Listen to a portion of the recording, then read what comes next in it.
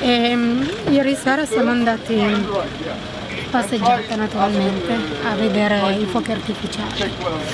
E, sulla strada del ritorno il camion è arrivato verso di noi e ha colpito, il camion, ha colpito mio papà e una nostra amica italiana. E, e mio papà ha perso una gamba e deve ancora avere un'operazione, però siamo stati fortunati che c'era tanta gente che aiutava e l'ospedale sono tutti molto gentili. Porta trasportavano soltanto i feriti, non ci lasciavano andare nell'ambulanza con loro e ne mettevano due per ogni ambulanza e ci è voluto più di 45 minuti prima che riuscissero a portare via mio papà.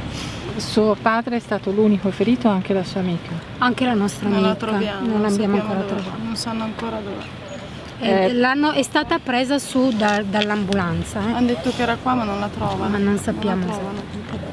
Non riescono a trovarla, il marito è disperato. È, stato, è successo tutto velocissimamente, questo camion aveva le luci spente e quindi non l'abbiamo visto, c'era tanta gente davanti a noi, dietro di noi c'era confusione e quindi fino all'ultimo momento non si è visto quando il camion è arrivato su di noi e ci siamo buttati chi a destra, chi a sinistra e, e- e il camion sbandava a destra e a sinistra, a destra e a sinistra. Ora che il camion è passato ci siamo tirati su, mi sono girata e mio papà aveva la gamba distrutta, si teneva un palo, l'altra signora era a terra e abbiamo iniziato a cercare di, di- ho tolto la maglia, gli ho tirato, le ho fatto da, da- come si dice, torni- Per fermare il sangue. tourniquet, tourniquet sulla gamba e poi anche dei passanti hanno dato una cintura, abbiamo- l'abbiamo chiusa stretta e poi abbiamo iniziato a gridare per aiuto, i pompieri passavano